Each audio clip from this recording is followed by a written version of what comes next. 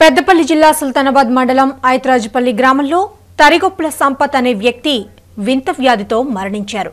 ఆయన కుమార్తె అనుష కూడా అదే వ్యాధితో బాధపడుతోంది.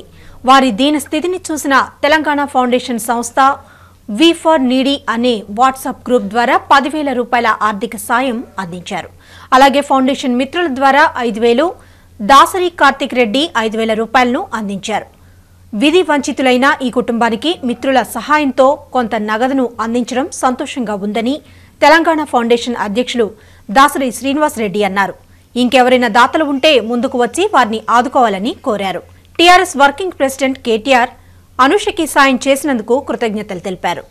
ఈరోజు హైదరాబాద్పల్లి గ్రామం లోపల దరిగొప్పల సంపత్ వింత వ్యాధితో గురై అనారోగ్యానికి గురై చనిపోవడం జరిగింది. వారి కుమార్తె కూడా అదే పరిస్థితిలో ఉంది కాబట్టి తెలంగాణ ఫౌండేషన్ మీఫర్ నీడి అనే గ్రూప్ల ద్వారా